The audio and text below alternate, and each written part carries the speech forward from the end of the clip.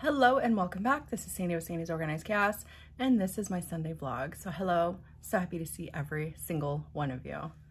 We have a lot to talk about in this vlog. I'm going to be going over my chaos colors for this month. Um, so I'll be showing you guys those. Those are now available in my glitter shop if you guys want to go check them out as well. Um, but this Friday, yeah, October 1st is already this Friday. Oh my goodness. Anyways, this Friday, uh, the new Chaos Box for October is going to be released at 8 p.m. just like I always do. I'll make sure to kind of go over that a little bit more in my ending thing too. But this Friday, October 1st, next month's box is, next month's box is going to be released. But we're going to go ahead and go over September, this month's colors today. I'm to be finishing up my what should have been my Christmas plaid tumbler. now a spooky Halloween tumbler. I'm happy with the end result, so I hope you guys are too. and I'm also gonna be get starting on some tumblers with this month's colors, some of this month's colors. So we're gonna be get starting on that today as well. I do have a drink this morning, just a simple type of ombre one that I did. That's it, that's all I have for today. but I do have my drink already this morning, just, just water. but I'm ready to wake up, prep these tumblers, and slay all day. Let's do this.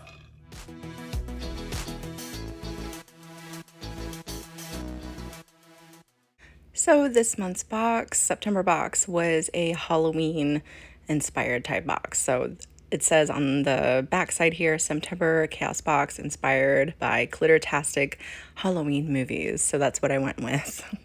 We are going to start off on the Hocus Pocus side that I was inspired by. The first one on the list I have here is called Winifred. Now this is a multicolor sized, chunky in shades of green and burnt orange. And I thought it really looked like Winifred or Winnie from the movie with her red hair and her green dress. Now, next up we have Mary. This is a 164th fine cut multicolor with shades of deep purple, green, and gold. Now, this is a metallic, so these are true to color with all those little colors kind of mixed in there.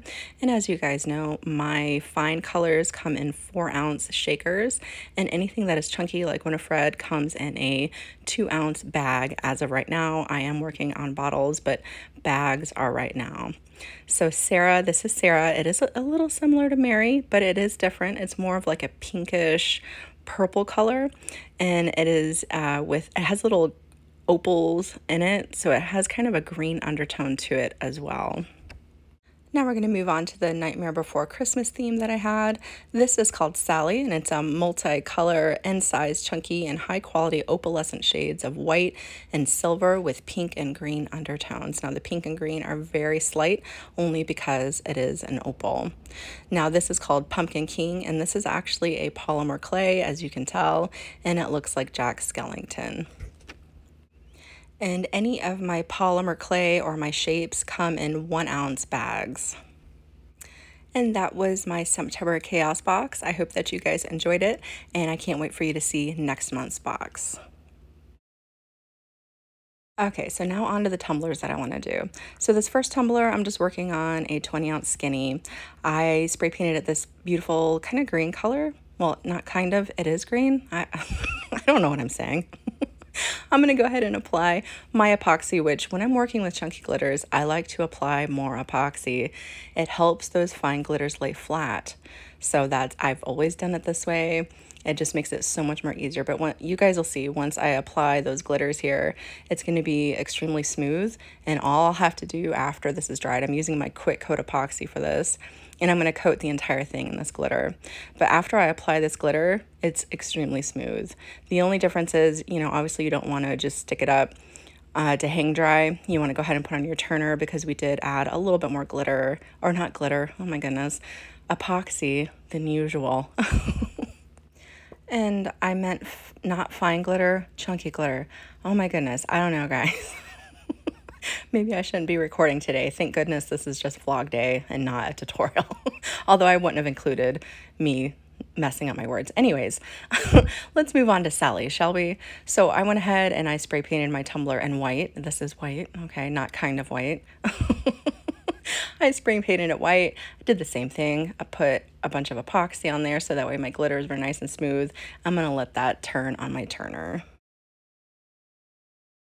While those are curing, because I, I went ahead and I let those cure for a couple hours and then I applied a second coat of epoxy over top and then we're gonna get to kind of doing something up on the one with the Winifred. But until then, I went ahead and finished up my crazy, what should have been Christmas plaid tumbler thing with my drips and stuff. Now this font that I'm using, I just got off of DaFont. I believe it's just called Drips is all it was called. So that's what I'm using. I just said, what did I say? Sweet dreams are made of the, this. I had to look that up because I thought it was these because that's how they sing it in the song, but it's this. So, you know, you had to have it right, you know? now I'm going to tell you guys this in a little bit as well, but I went ahead and I added more um, of these splatter drips to it. I had to put something in the background so I didn't get my paint everywhere, but I just used, I'll show you the paint too. It's the Kristie Taylor Pantheon Paints. Her husband is still running that business, just so you guys know. Um, I miss her every day, but her husband's still running it, and of course, I'm still going to use her products. But what I'm going to tell you and show you later once um, at the ending credits here, ending credits, I don't know. Anyways, um, after I got done doing these splatters, which I just took my finger, as you can see, and just flicked it right across my tumbler. It's as easy as that, and they, they barely dripped. But I went ahead and I took that same paint and took my finger and just ran it right around the rim, and it gave a really awesome drip around the top as well. And I really like this color. I think I think it really does look like the blood splatters that we're after. It's a beautiful kind of brick red color. Now, don't mind me. I'm just rearranging the camera so you guys can see better. Okay, I, I want you guys to be able to see what I'm doing. there we go. That's a little bit better of an angle. Now, I know this tumbler did not turn out 100% the way that I would like it. So I'm actually going to be gifting this to a family friend. Um, my husband's friend's wife really likes Halloween, all things Halloween related. So I'm going to go ahead and gift this to her because her husband's kind of been asking for a tumbler for her for a while, and I figured this would probably be the per the most perfect one for her. I know that she would really enjoy this. So I went ahead and let these splatters dry, and then when I came back out to my garage, I went ahead and I added the drips, but I forgot to record it, but I'll show you guys at the end. But that's how this turned out, my my mess up tumbler. That that that's how it turned out. And here I'm just going to show you guys the paint really quick. I believe they all come in a kit. I don't know if you can choose a specific color or not. I don't know what the exact color is. Like I said, it just came in a kit. So that is from Kristie Taylor Creations. I tell you, I really love that quick coat epoxy. I, am serious. I worked, I did this this morning. Like I got it all to, and then I was ready to have this next step done. Okay. so it already has its coat of epoxy over the raw glitter and everything nice and smooth. And now I'm going to do a simple power wash over the top. As you guys seen there, I use, what did I use? I just used a neon green. It was a Krylon neon green. And I'm just going to do a very basic power wash over it. I'm just going to spritz it down really good. No right or, you know, right or wrong here. However you want to do it. I just kind of mostly covered up the glitter. I didn't want too much of it with this green, so I just covered up as much as I could, and I thought that was enough. Now with the neon spray paints, they're very translucent, so you really have to shake that can really, really, really well. And then I went over this a couple times, as you can see, I'm really loading it on. And then I actually let the tumbler kind of sit a second, so that way once I go to wash it off, everything won't wash off because like I said, it's very, very translucent. So I let it sit for a second. Then I'm just going to very carefully rinse it off. I'm not going to like spray the crud out of it with my hose. I just very gently rinsed it and that was it. Uh, the wine tumbler that I did up with the Sally, this needs another coat. I need to trim the top there and this does need to be sanded. Typically it's a lot smoother than this. I, I wasn't able to apply as much of epoxy as I wanted to or it would have been a lot smoother, but this definitely needs to be sanded one more time before I move on to the next step with that. But this I'm gonna go ahead and let dry and next week we will finish these up together.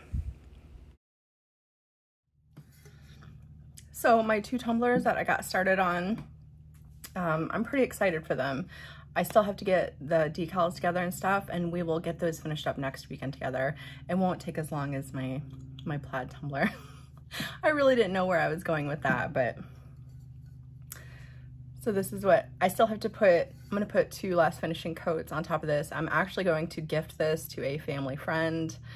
So, I mean, she's really into spooky stuff. And the drips are on the top. I used the same exact paint as I did when I did my splatters here. And I just took my finger and just dabbled it across the top. And that's how I made my drips to match everything else. So she loves it. So I'm gonna go ahead and, and give that one to her. Who knows, right? A happy little accident, I, you know. so again, this Friday, October 1st, um, October's Chaos Box will be released. If you already have a subscription, you don't have to worry about it. Um, if you notice that you do have a subscription and it doesn't seem like it went through, all you have to do is reach out to me and I will let you know if it is still active or not because sometimes cards might not go through and then you won't get that month's box. So just make sure, you know, you will get charged the day that you signed up. So if you signed up on the 3rd, you won't be charged until the 3rd. I am doing the boxes a little bit different this month. Um, I was shipping them all out at one time, but this month I'm not gonna do it that way. As I get the orders, they're gonna be out the door. So that way it's not too overwhelming for my post office and for myself. It just makes it a little bit easier. But you guys can either do a subscription or you can just do a one-time box. It's completely up to you.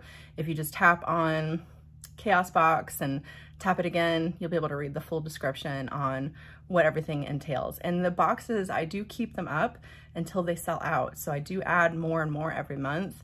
And then once it's sold out, it's gone until the following month. And then you can re-sign up for that.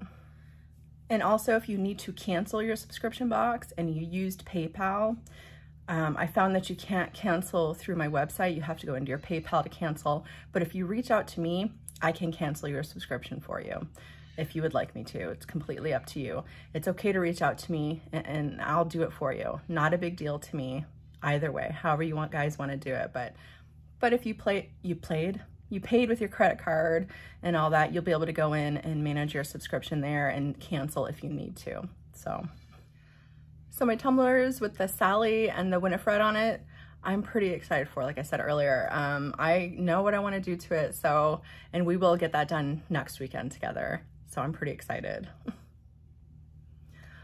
But I'm gonna go ahead and let you guys go. I have to get the kids ready for school tomorrow. Tomorrow's Monday, I gotta get the kids ready, wash clothes, dinner, all that fun stuff. I hope that you guys have an amazing week, an amazing rest of your day, an amazing week, and I will see you guys next time. Bye guys.